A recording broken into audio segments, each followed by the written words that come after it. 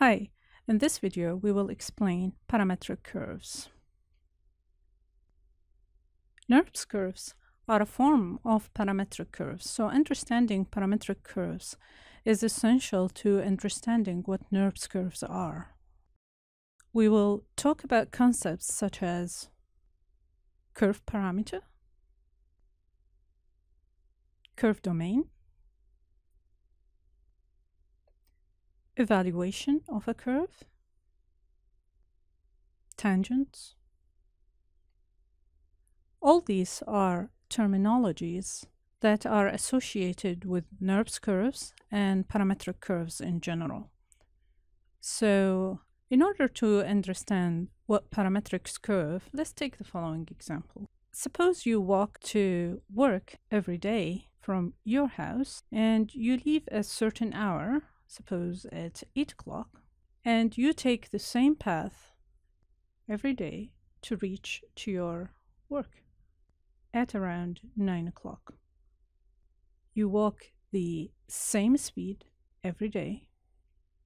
You leave exactly at 8, and it takes you exactly 60 minutes to get to your work. So if you use a timer and you start at 0, then your timer will be at 60 minutes by the time you get to work. 15 minutes into your walk, you usually pass by your children's school. Half an hour into your walk, this is where you pass by the park. And around 45 minutes, you cross a little pedestrian bridge. Just because you always walk same speed, your wife knows that at 8 o'clock you will be at home. Let's consider that the zero minute. At 8.15 you will be passing by the local school. 30 minutes into your walk, she can be certain that you are passing by the park. 45 minutes and you are crossing that bridge. And after 60 minutes, you are sure to have arrived to your work. I'll just put a little separation between your real life walking and the time capture of your walk. What we were able to do is that we were able to plot actual locations using time. So if we consider that to be t, 0, which is your starting time, we can plot that to your house, which is a 3D location in space. 15 take us to your school. 30 take us to the park. 45 take us to the bridge. And 60 Plot the location of your work. Actually, each minute on the clock will translate to a location along your path. If every minute during your walk you plot your location, you can actually draw your path using these time intervals. So what we just done, we were able to describe a path in terms of time. In other words, we were able to draw a curve using a parameter. My curve is called parametric because we are able to describe it in terms of a parameter. Any curve that can be described or drawn using a parameter is called parametric curve. So a parameter on a curve represents the address of a point on that curve. That is the formal definition of a curve parameter. Now, my time, t, was able to describe a 3D location in space, which is my house. And so is every single minute all the way to the 60th minute. And all of these are considered curve parameters. Now, the range of values from 0 to 60 that all plot to locations on my curve Together, they are called the curve domain. That is what a curve domain is. It is all the range of values in my parameter space, this space, the parameter space, that can translate to locations in my 3D space. Now, while my 3D space is fixed, my path doesn't change, my parameter space can change. How is that? Suppose one day you were in a hurry and you needed to get to your work in 30 minutes, so you decided to take your bike. So you start at zero, but it actually takes you only 20 minutes to get to work using the bicycle. That is, at your 10th minute, you'll actually pass your park instead of the 30th minute. And at the fifth minute, you'll be at the school. And the 15th minute, you'll be crossing the bridge. Notice that while my curve domain changed, my 3D space didn't. So the parameter space can start or end at any values as long as the intervals between the starting t0 and parameter ending parameter t1, all the values in between will translate to locations on my 3D curve, then this is a valid parameter space. So speed can change, but that doesn't change the curve. Now to recap, parameter curves are curves that can be described in terms of a parameter. Curve parameter is a number that evaluates to a 3D point in space. Curve domain is all the range of parameters that evaluate to all possible points on the curve. The start of domain evaluate to the start of the curve, and the end of the domain evaluate to the end of the curve.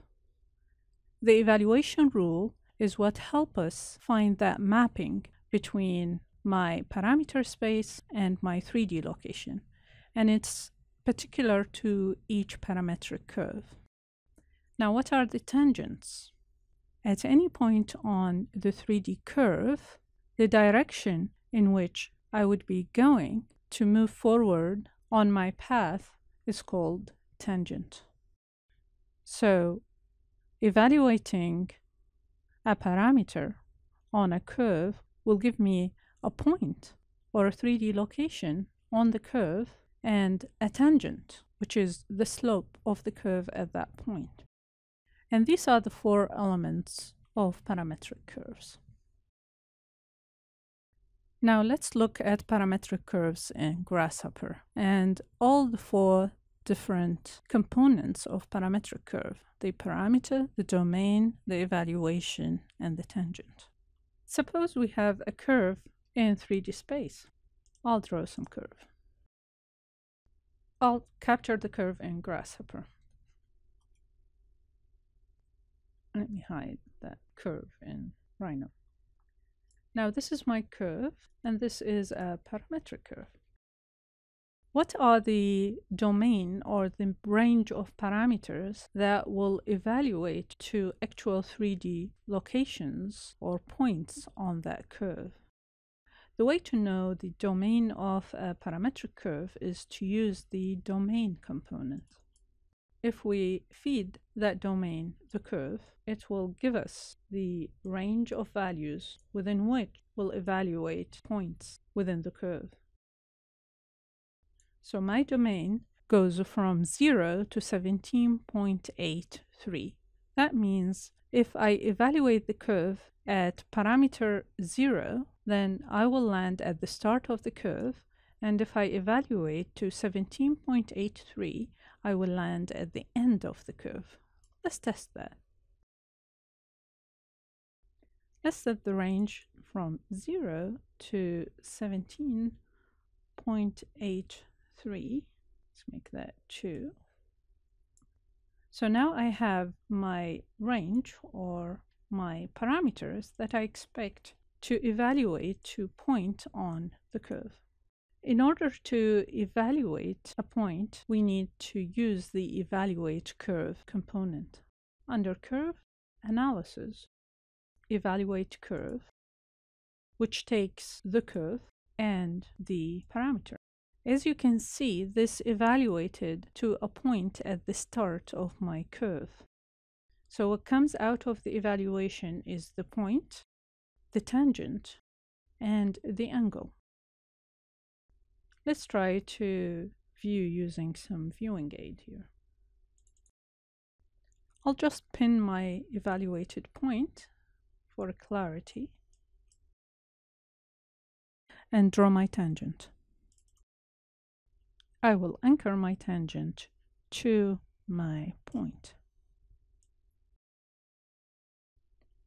Now if I drag my parameter slider to evaluate different parameters on curve, suppose I type in 1, that 1 evaluate to that particular location and the tangent also is described there. I can keep dragging my parameters and I can see that my point is traveling along the curve all the way till the very end of the curve at parameter 17.83. I've been able to plot the curve using a parameter. And this is what a parameter is. We also explained what the domain is and what the evaluation rule is. And this also shows the tangent. Now remember that the domain could be set to any range of values. So we can reset the domain to 0 to 1, which is very common way to set the domain so that we have a predictable range of parameters to work with. And actually, it is so common that if you right click on the curve, there is a function says reparameterize, and that automatically sets the domain of parameters to 0 to 1. Let's set that. As you can see now, that now the domain is set to 0 to 1, but my evaluation now is showing a warning which says parameter is outside the curve domain. A result may be unpredictable. If we zoom out, we might find the point somewhere in space. We don't even see the point, so it evaluates somewhere very far. And let's try to drag closer to 1. And now I'm starting to see my point. So I need to reset that to 0 to 1 in order to be able to evaluate two points within my domain. And remember, my domain changed, but the 3D space, which is my curve, did not change.